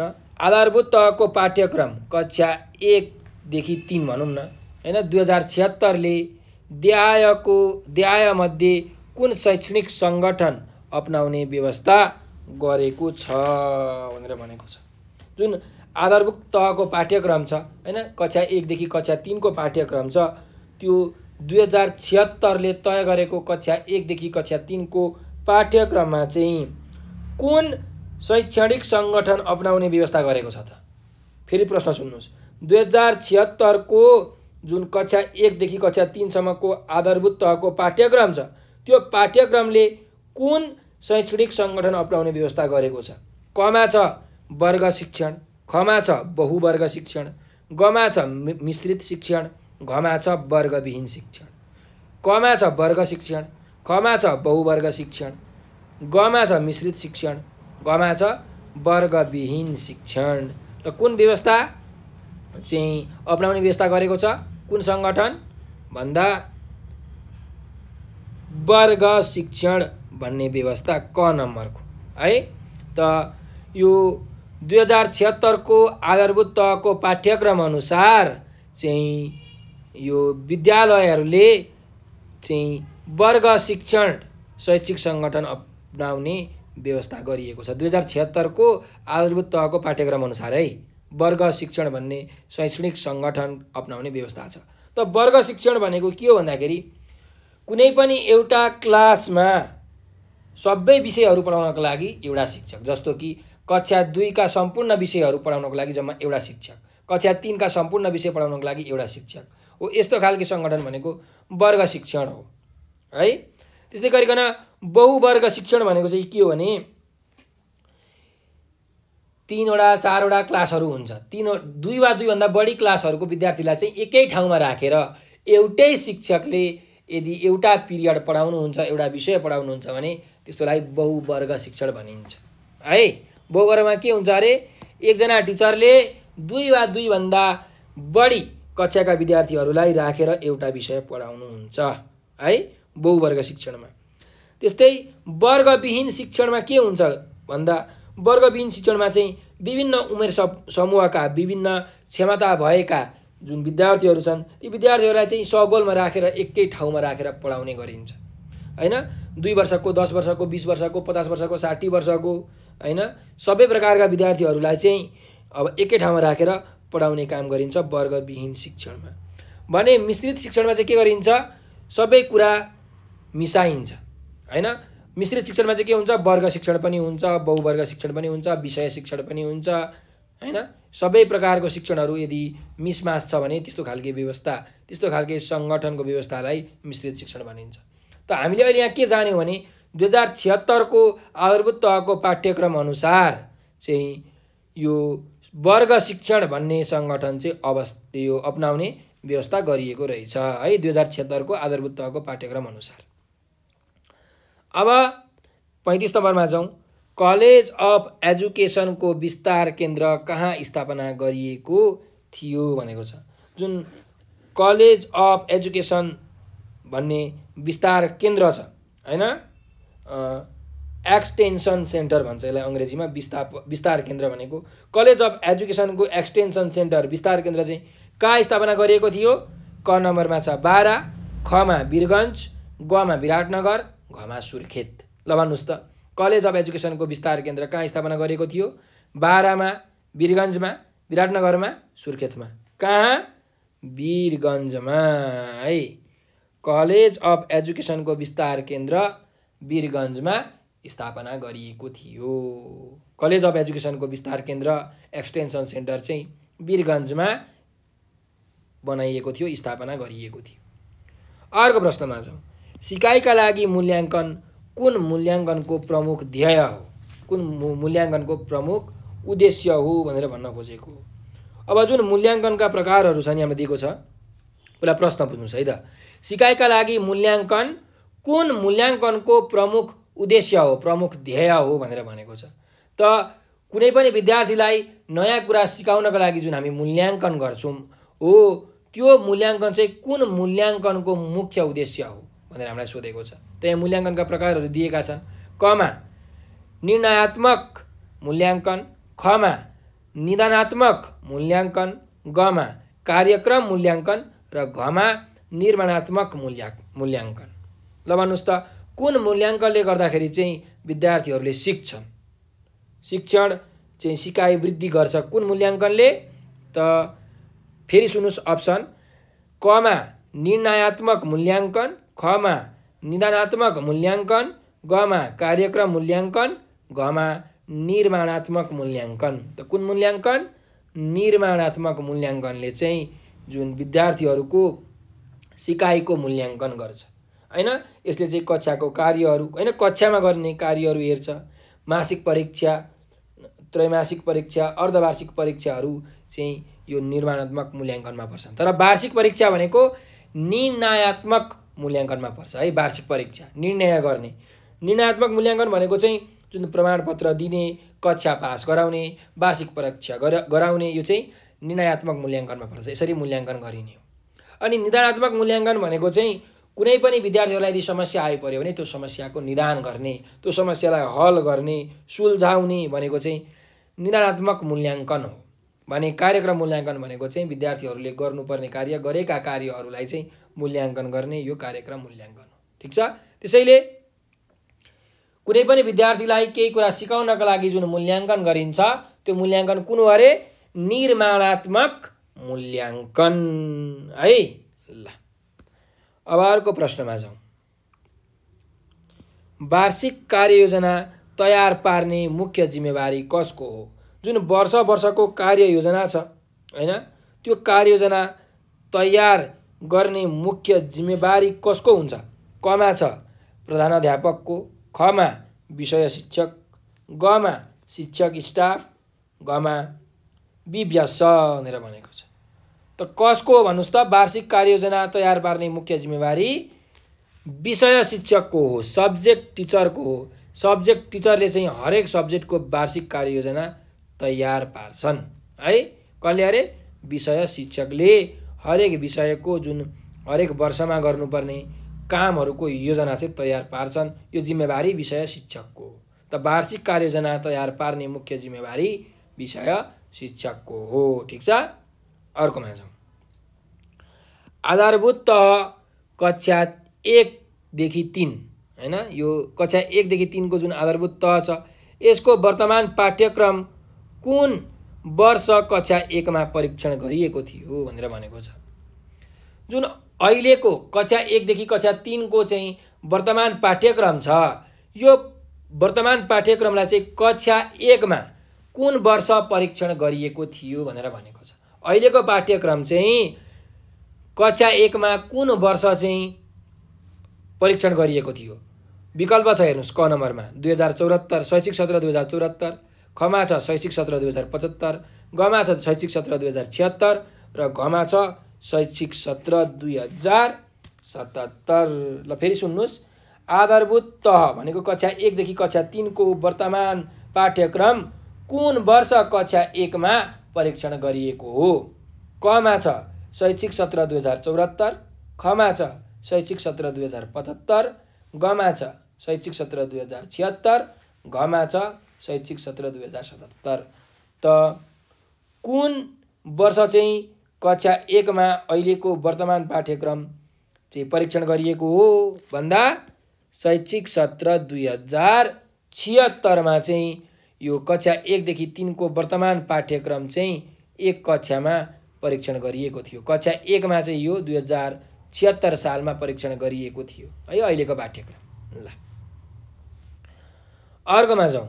सिकाइको स्वरूप कस्तो हुन्छ भनेको सिकाइको स्वरूप हुन् भनेको छ। कुन चाहिँ सिकाइको स्वरूप हो त?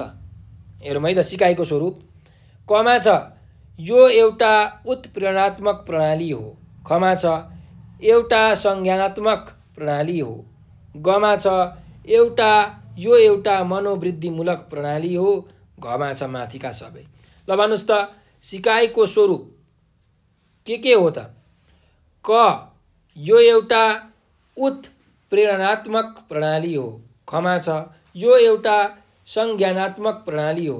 गमा छ यो एउटा मनोवृद्धिमूलक प्रणाली हो। घमा छ माथिका सबै। त कुन विकल्प ठिक हो? माथिका सबै। घ नम्बरको विकल्प ठिक हो है। त सिकाइको स्वरूप भनेको के हो त? सिकाइ भनेको एउटा उत्प्रेरणात्मक प्रणाली हो। विद्यार्थीहरूलाई सिकाइले प्रेरणा दिन्छ कन्फिडेन्स दिन्छ उत्साह दिन्छ जाँगर दिन्छ। त्यस्तै यो एउटा संज्ञानात्मक प्रणाली पनि हो। संज्ञानात्मक भनेको चाहिँ चेतना दिने ज्ञान दिनेलाई हामी के भन्छौँ? संज्ञानात्मक भनेर भन्छौँ। त्यस्तै यो एउटा मनोवृद्धिमूलक प्रणाली पनि हो। विद्यार्थीहरूको मनस्थितिहरूलाई यसले वृद्धि गर्छ बढाउँछ सुधार गर्छ है? त्यही भएर यो माथिको सबै चाहिँ के हो त? सिकाइका स्वरूपहरू हुन् है त? अब चालिस नम्बरमा जाउँ। मानव व्यवहार अध्ययन गर्ने विद्या नै मनोविज्ञान हो। मानिसहरू के कसरी र किन व्यवहार गर्दछन् भनी खोजी नीति गर्ने यसको विषयवस्तु हो। यो भनाइ कोसँग सम्बन्धित छ भनेर भनेको छ। सुन्नुहोस् है त यहाँ एउटा भनाइ दिएको रहेछ। मानव व्यवहार अध्ययन गर्ने विद्या नै मनोविज्ञान हो। मानिसहरू के कसरी र किन व्यवहार गर्दछन् भनी खोजी नीति गर्ने यसको विषयवस्तु हो। यो भनाइ कसको हो भनेर हामीलाई सोधेको छ। विकल्प दिएको छ कमा थोलेस खमा ग्यारेट गमा फ्रायड गमा स्टेफेन्स। कमा थोलेस खमा ग्यारेट गमा फ्रायड घमा स्टेफेन्स। त यी चारजना मध्ये कुन चाहिँ शिक्षाविदले मानव व्यवहार अध्ययन गर्ने विद्या नै मनोविज्ञान हो? मानिसहरू के कसरी र किन व्यवहार गर्दछन् भनी खोजी नीति गर्ने यसको विषयवस्तु हो भनेर भनेका हुन्। कुन शिक्षाविदले भनेका हुन् त? ग्यारेट भन्ने शिक्षाविदले भनेका हुन्। है ग्यारेट भन्ने शिक्षाविदले के भनेका रहेछन् त? मानव व्यवहार अध्ययन गर्ने विद्या नै मनोविज्ञान हो।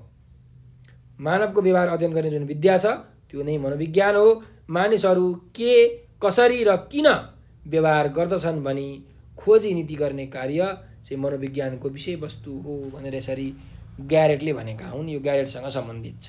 है? ल। अर्को प्रश्नमा जाउँ।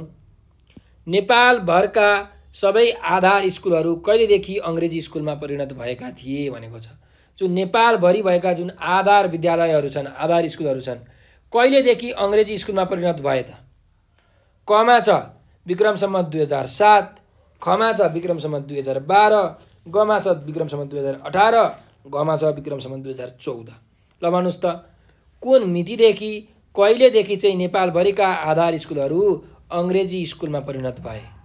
भन्दा विक्रम सम्मत दुई हजार बाह्रदेखि चाहिँ नेपालभरिका सबै आधार स्कुलहरू अङ्ग्रेजी स्कुलमा परिणत भए। कहिलेदेखि अरे? विक्रम सम्मत दुई हजार बाह्रदेखि। है याद राख्नुहोस् विक्रम सम्मत दुई हजार बाह्रदेखि। अर्को प्रश्नमा जाउँ। मनोविज्ञानमा विकास भन्नाले कुनलाई बुझाउँछ भनेर भनेको छ। मनोविज्ञानमा विकास भन्नाले कुनलाई बुझाउँछ? कमा छ। व्यक्तिमा देखा पर्ने परिणात्मक परिवर्तन। खमा। व्यक्तिमा निश्चित समयसम्म देखा पर्ने परिवर्तन। गमा छ। व्यक्तिमा देखा पर्ने गुणात्मक परिवर्तन र घमा छ। माथिका कुनै पनि होइन। फेरि सुन्नुहोस्। मनोविज्ञानमा विकास भन्नाले कुनलाई बुझाउँछ? व्यक्तिमा देखा पर्ने परिमाणात्मक परिवर्तन व्यक्तिमा निश्चित समयसम्म देखा पर्ने परिवर्तन व्यक्तिमा देखा पर्ने गुणात्मक परिवर्तन र घमा छ माथिका कुनै पनि होइन। त मनोविज्ञानमा विकास भनेर केलाई बुझाउँछ त? व्यक्तिमा जुन हुने देखा पर्ने गुणहरू छन् ती गुणहरूको चाहिँ परिवर्तन भयो भने उसको मनोविज्ञानमा विकास भयो भन्ने बुझिन्छ। त्यही भएर यसको ग नम्बरको विकल्प सही छ। व्यक्तिमा देखा पर्ने गुणात्मक परिवर्तन भनेको चाहिँ मनोविज्ञानमा विकास हुनु हो। के अरे? व्यक्तिमा देखा पर्ने गुणात्मक परिवर्तन भनेको चाहिँ मनोविज्ञानमा विकास हुनु हो भनेर भन्न सकिन्छ। है? ल। अर्को प्रश्नमा जाउँ। त्रिचालिस नम्बरको प्रश्न छ जीवनोपयोगी शिक्षा कुन तहको पाठ्यक्रममा राखिएको छ? जीवनोपयोगी शिक्षा कुन तहको पाठ्यक्रममा राखिएको छ? कमा छ? कक्षा चारदेखि पाँचको आधारभूत तह। ख नम्बरमा कक्षा छदेखि आठको आधारभूत तह। ग नम्बरमा कक्षा नौ र दसको माध्यमिक तह र घ नम्बरमा चाहिँ कक्षा एघार र बाह्रको माध्यमिक तह। ल भन्नुहोस् त। जीवनलाई उपयोगी हुने शिक्षा चाहिँ कुन तहको पाठ्यक्रममा राखिएको छ? जीवन उपयोगी शिक्षा है। कुनमा त एघार र बाह्रको माध्यमिक तहमा चाहिँ जीवन उपयोगी शिक्षा पाठ्यक्रममा राखिएको छ। है हाम्रो करिकुलममा चाहिँ जीवनमा उपयोग हुने जुन शिक्षा छ त्यो माध्यमिक तहको जुन कक्षा एघार र बाह्रको माध्यमिक तह छ त्यसको पाठ्यक्रममा राखिएको छ। है ल। चौवालिसमा जाउँ। चौवालिस नम्बरको प्रश्न। नासाद्वारा मङ्गल ग्रहमा मार्स रोभर नामको साधन कहिले प्रक्षेपण भयो भनेको छ। यो नासा छ। नासाले चाहिँ मङ्गल ग्रहमा मार्स रोभर नामको जुन एउटा साधन जुन यन्त्र छ त्यो कहिले प्रक्षेपण गर्यो? भन्नुहोस् त। क नम्बरमा विकल्प छ सन् दुई हजार बिस जुन। ख नम्बरमा छ सन् दुई हजार बिस नोभेम्बर। ग नम्बरमा छ सन् दुई हजार बिस जुलाई। र घ नम्बरमा छ सन् दुई हजार बिस मे। ल भन्नुहोस् त। अब सबै दुई हजार बिस नै छ।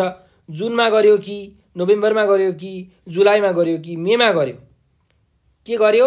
नासाले मङ्गल ग्रहमा जुन मार्स रोभर नामको साधन नामको यन्त्र छ त्यो कहिले प्रक्षेपण गर्यो?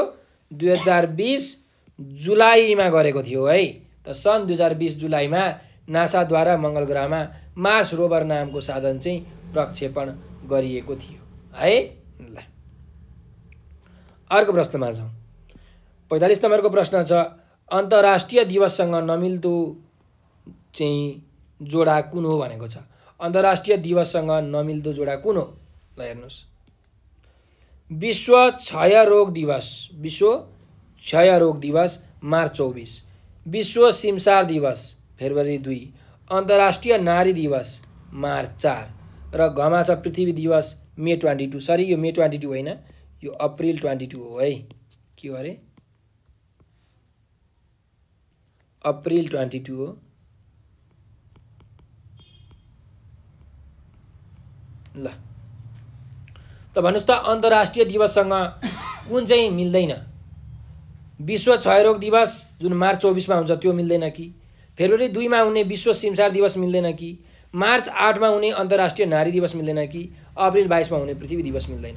कुन मिल्दैन? त पृथ्वी दिवस मिल्दैन। अप्रिल बाइसमा हुने जुन पृथ्वी दिवस छ यो अमेरिकाले गर्ने हो होइन? अमेरिकाको पृथ्वी दिवस हो। त यसलाई अर्थ डे भनेर भनिन्छ अङ्ग्रेजीमा। अरू सबै अन्तर्राष्ट्रिय दिवसहरू हुन्।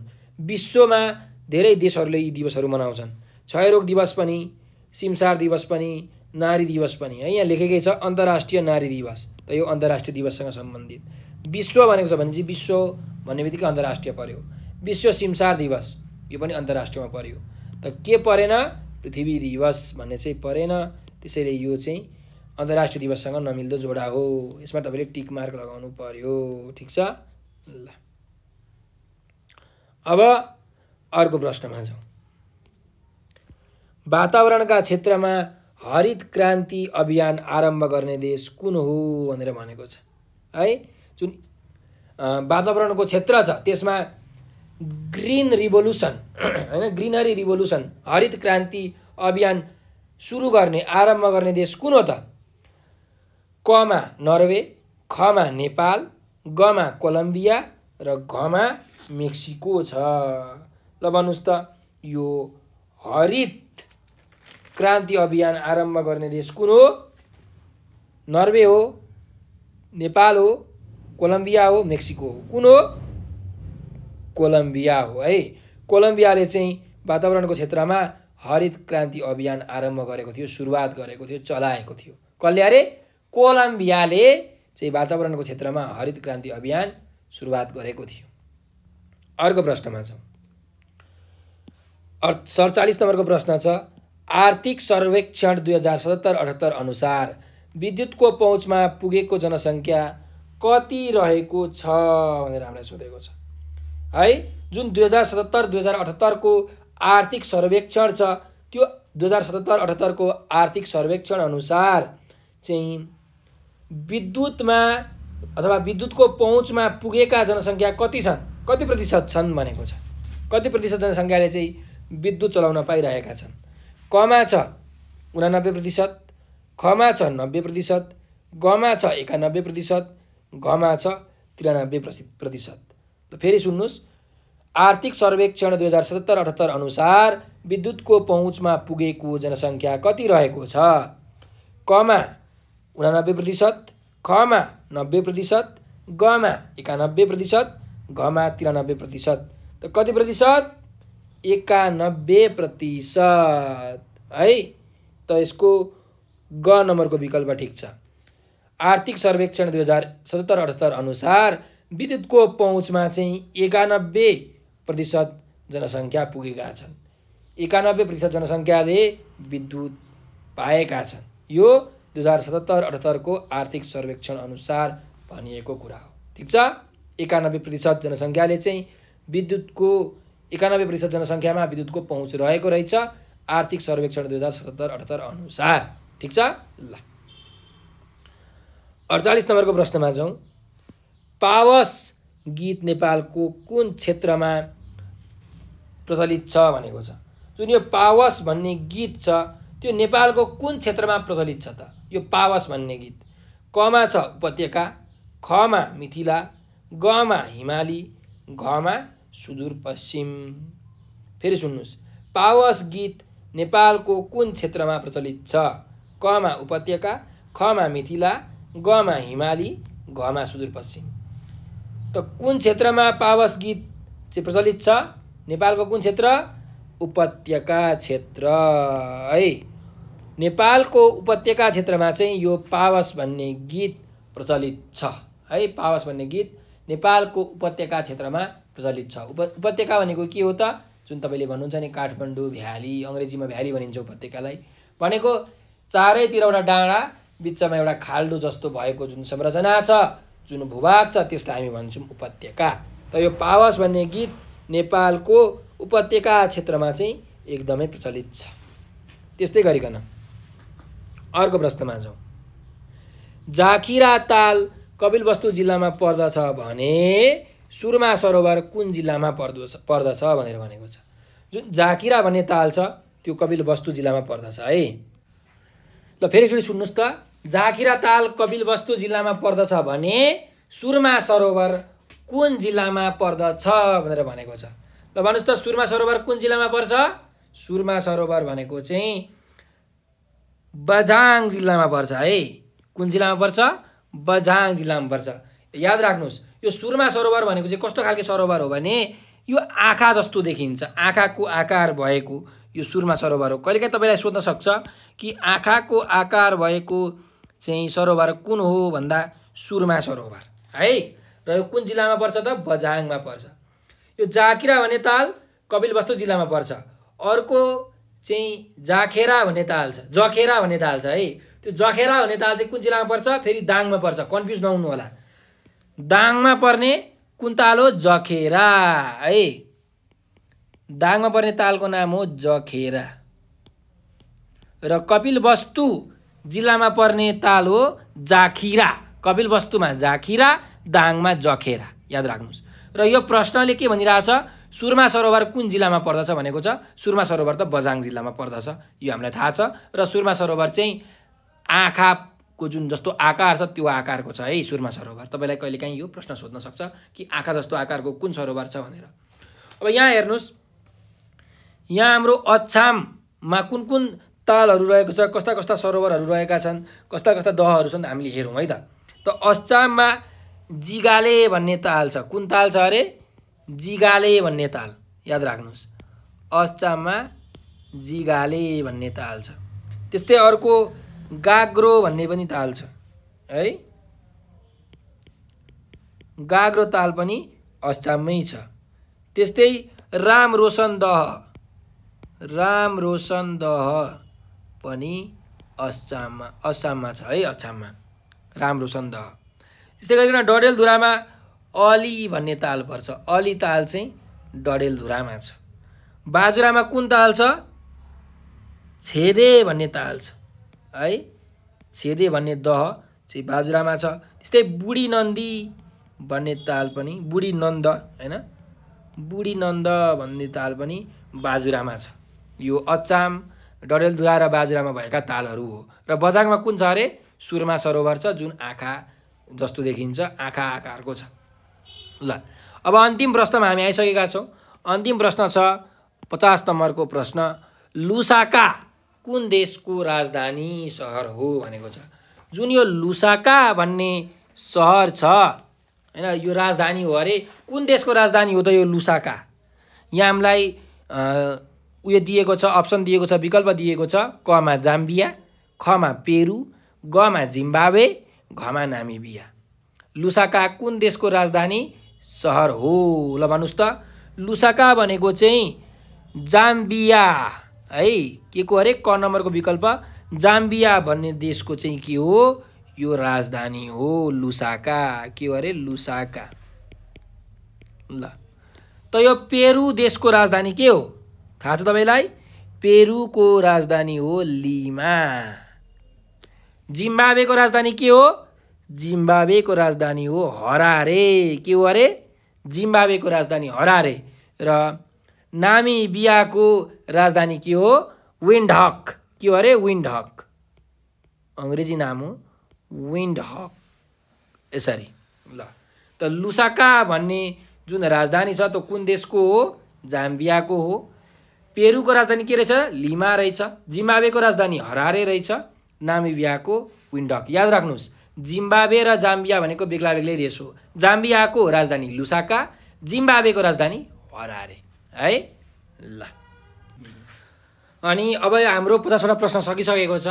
त तपाईँहरूको ज्ञानको निम्ति चाहिँ तपाईँहरूले के गर्नु भन्दाखेरि तपाईँहरूलाई जुन समसामयिक विषयवस्तुहरू हुन्छन् होइन त्यो तिन महिना तपाईँको जुन परीक्षा हुन्छ परीक्षाको तिन महिना चार महिनासम्मका जुन अगाडि घटेका घटनाहरू हुन्छन् समसामयिक घटनाहरू त्यसको बारेमा सोध्ने गर्दछ। त तपाईँले जुन यो एमसिसीको कुरा छ अहिले नेपालमा एमसिसीको चाहिँ दरो विरोध एकदम धेरै विरोध चलिरहेको छ हिजो भर्खर एमसिसी पास भयो भन्ने कुरा चाहिँ आएको छ। त एमसिसी भनेको के हो? एमसिसी कहिले पास भयो? एमसिसी पास गर्दा को प्रधानमन्त्री हुनुहुन्थ्यो? कतिवटा संसद चाहिँ सांसदहरूले पास गरे होइन? यस्ता जुन प्रश्नहरू छन् यी प्रश्नहरूको उत्तर तपाईँहरूले खोजेर राख्नु होला पढ्नु होला है त? यो तपाईँहरूको जानकारीको लागि मैले भनिदिएको छु। र तपाईँहरूलाई अब यो यदि भिडियो हेर्न पनि अल्छी लाग्छ भने हामीले यो शिक्षक सेवा आयोगको चाहिँ पोडकास्ट पनि बनाएका छौँ अडियो मात्रै। तपाईँहरूले युट्युबमा नेपाल अनलाइन स्कुलमा जानुहोस् र त्यहाँ पोडकास्ट भनेर सर्च गर्नु होला तपाईँहरूले भेट्टाउनुहुन्छ है त्यो पोडकास्टहरू। चाहिँ अल्छी लागेको बेलामा अब काम गर्दै पनि सुन्दा भयो गाडीमा कतै हिँड जाँदाखेरि पनि सुन्दा भयो होइन? अल्छी लागेको छ भन्दै पनि अब पढ्न अल्छी लागेको छ भने पनि सुनेर चाहिँ मजाले तपाईँहरूले ज्ञान लिन सक्नुहुन्छ है त? र हाम्रो यो भिडियोलाई लाइक सब्सक्राइब र सेयर गरेर नेपाल अनलाइन स्कुलको सहयोगी हात बनिदिनु होला भनेर विनम्र अनुरोध गर्दै म आज हजुरहरूबाट बिदा लिन चाहन्छु। तर जानुभन्दा अगाडि म तपाईँहरूलाई एउटा नम्बर दिन्छु। यो नम्बर अन्ठानब्बे चार पन्चानब्बे पन्चानब्बे आठ पन्चानब्बे nine eight four nine five nine five eight nine five. हो तपाईँहरूलाई केही समस्या आइपऱ्यो केही जिज्ञासा आएको छ नेपाल अनलाइन स्कुलको बारेमा केही जानकारी चाहिएको छ भने यो नम्बरको भाइबर टेलिग्राम र वाट्सएपमा हामीलाई म्यासेज गर्न सक्नुहुन्छ। साथसाथै हामीलाई टिकटकमा फेसबुकमा ट्विटर अनि इन्स्टाग्राममा पनि तपाईँहरूले फलो गर्न सक्नुहुन्छ। त्यहाँ पनि हामीले चाहिँ भिडियोहरू हालेका छौँ है।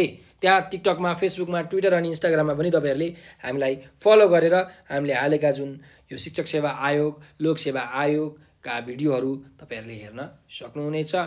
र तपाईँहरूले यो भिडियो अन्तिमसम्म हेरिदिनु भएकोमा तपाईँहरूलाई हृदयदेखि धेरै धेरै धन्यवाद छ। स्वस्थ रहनुहोस्। व्यस्त रहनुहोस् मस्त रहनुहोस्